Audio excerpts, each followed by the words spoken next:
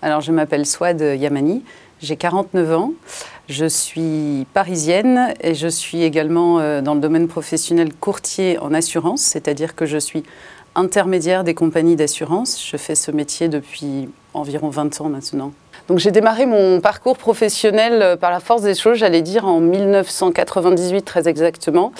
Euh, j'étais déjà paraplégique à la suite d'un accident de la circulation et à l'époque on m'avait volé mon véhicule. Je me suis vite euh, rendu compte que malheureusement dans le domaine de l'assurance les choses allaient être assez compliquées pour être indemnisées de manière normale, correcte. Euh, et l'idée euh, m'est venue, euh, en partenariat avec une jeune femme que j'avais rencontrée également à l'époque, de réfléchir à des solutions d'assurance qui soient accessibles aux personnes handicapées.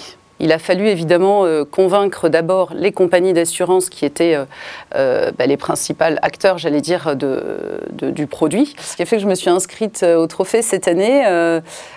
C'était bah, une envie, finalement, pour moi, ça a été assez évident. donc un, trophée qui met en valeur et, qui met à l'honneur des, entrepreneurs en situation de handicap.